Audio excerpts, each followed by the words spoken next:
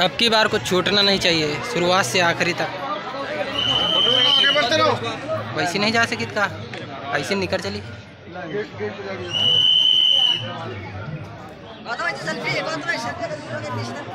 जल्दी जल्दी खड़े हो खड़े हो खड़े हो ये चलो लौट के बाद में आई हैं।